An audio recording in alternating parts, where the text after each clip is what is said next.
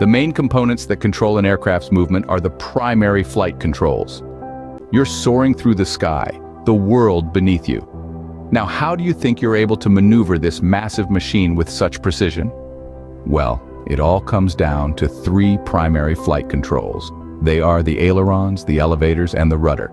Each of these controls is responsible for a unique aspect of flight and works in harmony with the others, ensuring a smooth and safe journey. Let's start with the ailerons. These are hinged surfaces located on the wings of the aircraft. When you move the control wheel or stick to the left or right, the ailerons move in opposite directions. This causes the aircraft to roll or tilt to the side, allowing you to turn the aircraft. Now let's move to the elevators. Positioned on the tail of the aircraft, the elevators control the pitch of the plane. If you pull the control wheel or stick back, the elevators rise, causing the aircraft's nose to point upwards. Conversely, if you push the control wheel or stick forward, the elevators lower, and the aircraft's nose points downwards. Lastly, we have the rudder. This is a hinged surface on the vertical part of the tail. Using the rudder pedals, you can make the aircraft yaw or turn left or right without tilting the wings. When you press the left rudder pedal, the aircraft yaws to the left, and vice versa. Together, these controls enable the pilot to manipulate the aircraft's attitude and direction. They allow the pilot to roll, pitch, and yaw the aircraft, adjusting its path through the sky.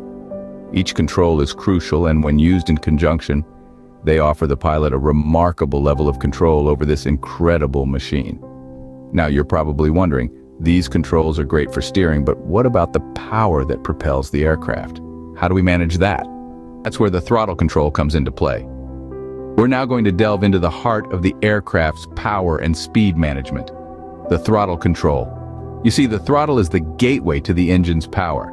It's like the gas pedal in your car, but with a lot more responsibility. When you push the throttle lever forward, you're opening the gate, allowing more fuel to flow to the engine, resulting in increased power and speed.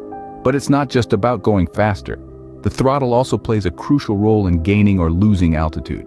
Here's the magic. When you need to climb, you increase the throttle, giving the engine more power to lift the aircraft. When you need to descend, you ease back on the throttle, reducing the engine's power and allowing the plane to gently glide down. But remember, every action in the cockpit is about balance. You can't just slam the throttle forward and expect to rocket into the sky. It's a delicate dance of power and control, and the throttle is your dance partner. Don't forget about airspeed too. A higher throttle setting will increase your airspeed, but be careful not to exceed the plane's safe operating limits. You're in control, but the plane has its limits. Now that we've got the plane moving, how do we navigate? Navigating an aircraft relies heavily on a set of key instruments. Now let's delve into the world of aviation navigation instruments, the tools that help pilots steer their course through the skies. First up, the altimeter, this remarkable device measures the aircraft's height above sea level. It operates based on atmospheric pressure, which decreases as we ascend and increases as we descend. The altimeter translates these pressure changes into feet, giving pilots a clear picture of their altitude. Remember, altitude isn't just a number, it's an essential aspect of safe and efficient flight. Next on our instrument panel, we have the heading indicator, also known as the directional gyro. This tool provides pilots with their aircraft's direction relative to magnetic north. Unlike a standard compass, the heading indicator isn't subject to errors caused by the aircraft's pitch and bank. It's an indispensable guide, especially when visibility is poor. Let's not forget the Global Positioning System, or GPS for short.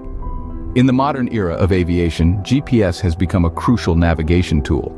It uses signals from satellites orbiting the Earth to pinpoint the aircraft's exact location. With GPS, pilots can navigate with precision, even over vast, featureless terrains or during the darkest nights.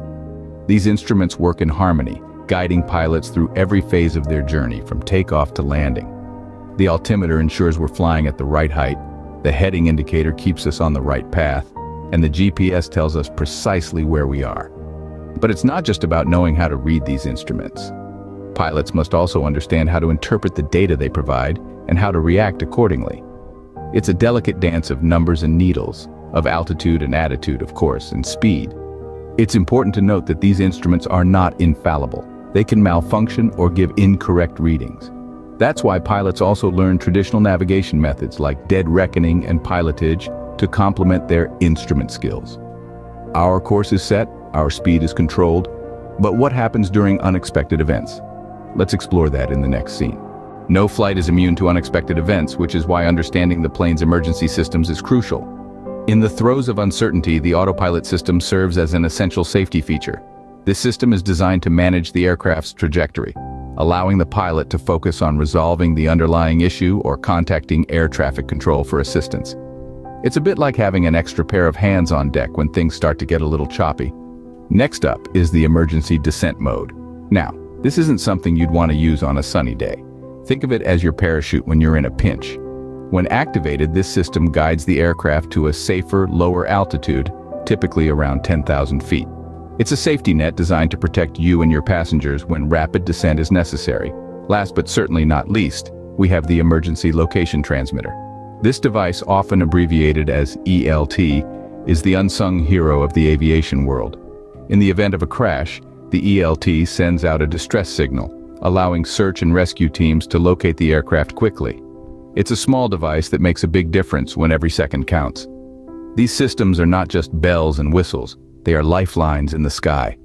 Each plays a vital role in maintaining safety during flight, ensuring that even when things don't go as planned, there's always a backup plan. Being prepared for emergencies is a key aspect of being a pilot. Flying a plane involves a deep understanding and management of various controls and systems. It's a dance of precision, a ballet of technology and human skill.